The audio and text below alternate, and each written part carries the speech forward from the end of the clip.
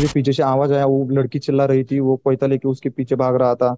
तो मुझे वो सहन नहीं हुआ। मैं पीछे से बैग मेरा फेंक दिया वहाँ पे और पीछे से उसके पीछे पीछे भागा।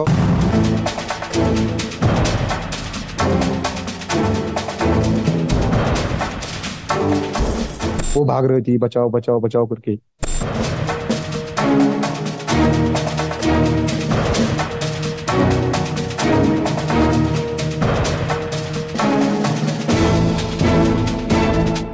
वो बड़ा सा वेपन लेके उसके पीछे आ रहा था, भाग रहा था, मार रहा था उसको।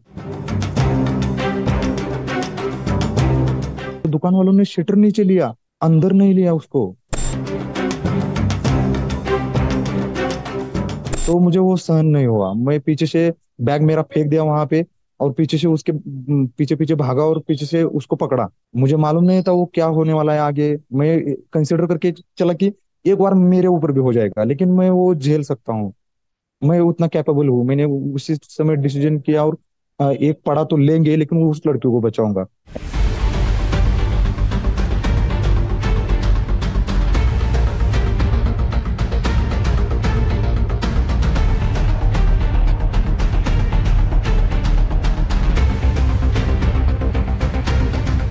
उसको पकड़ने के बाद बहुत लोग आए जो देख रहे थे ना पहले, उसको मारते समय। मार डालो इसको, मार डालो इसको। मैंने बोला आपको उसको मारने का अधिकार नहीं है।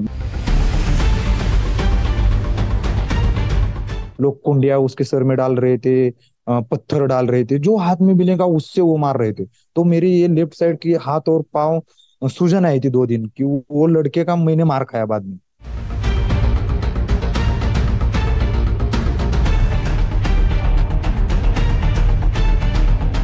वहाँ पे गया तो वहाँ पुलिस भी नहीं थी। पंद्रह बीस मिनट वहाँ पे पुलिस नहीं आई तो वो लोग बोल रहे कि इसको पुलिस स्टेशन के साथ जला डालो।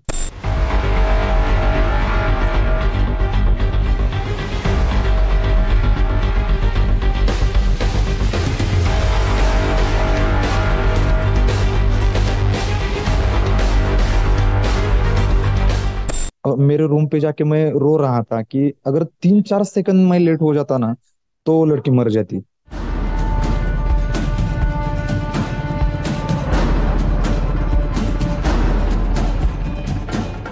उसके डैडी और वो लड़की मुझे मिलने आई थी तो मुझे वो वो भी बहुत बढ़िया लगा कि वो थैंक, थैंकफुल थे मेरे लिए।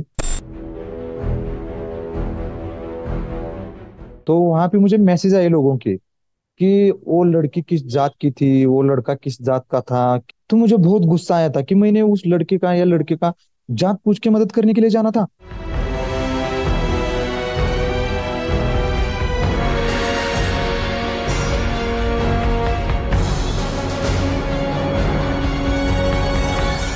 ये बहुत मिसअंडरस्टैंडिंग है कि बहुत तकलीफ़ होती है। कोई कुछ भी परेशान नहीं करता। सिर्फ़ एक बार पुलिस स्टेशन में बुलाया, वहाँ पे हमारा स्टेटमेंट लिया। बाद में उन्होंने भी हमारा मीन्स अप्रिशिएट ही किया।